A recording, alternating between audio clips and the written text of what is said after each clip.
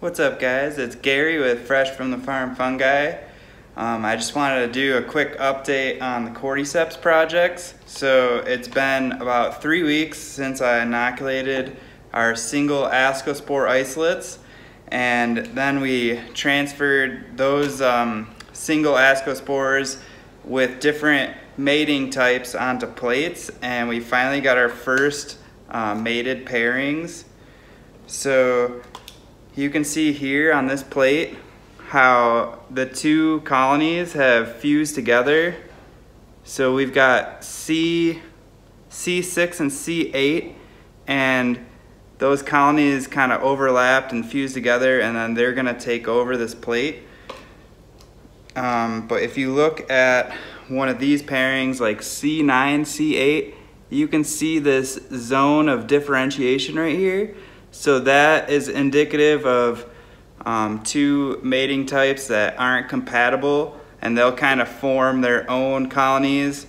Um, but we crossed, you know, all of them with each other and we ended up with quite a few of um, some mated pairings. Like there's another good one right there.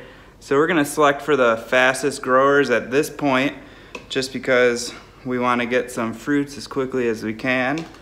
And here is the um, isolated streak that I presumed have been mated and you can see it's growing out pretty rigorous too. So I'm gonna keep this one um, separate and then fruit that along with our liquid culture. So that's kind of exciting. We've got um, our multi-spore liquid culture that's growing out.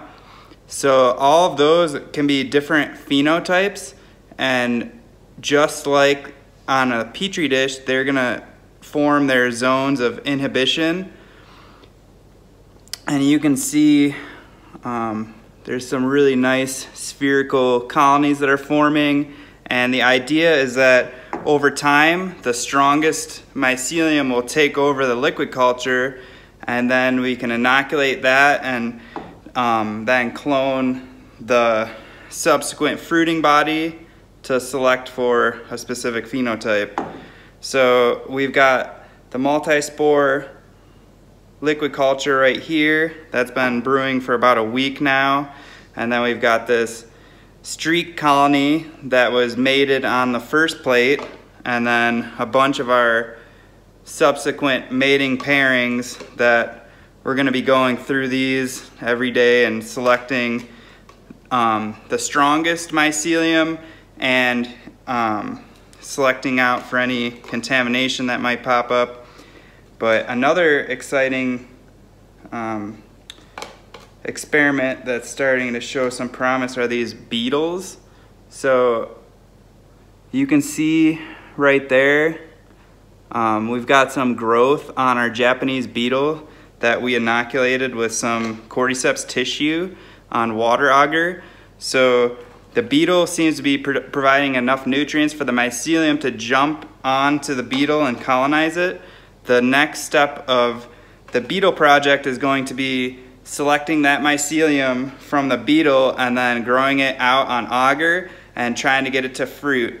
So I'll keep you guys posted on that in the future, um, but it's really exciting. I have my doubts that the Cordyceps mycelium will be able to adjust to a specific beetle like this, but it seems promising and I'll keep you posted on um, any updates in the future. So give us a thumbs up if you like this video. Subscribe if you're looking forward to more videos like these. Um, share this information if you think anyone else would find it useful. And we're gonna be doing a few more um, live Q&A streamings in the next month or so. So my friend Zach and I were doing a video for um, Colorado Mycological Society that it's going to be a virtual demonstration with some Q&A. So if you're interested in joining that, um, we're still working out the schedule and I should be having some more um, live streams in the near future and lots more videos coming up. Love.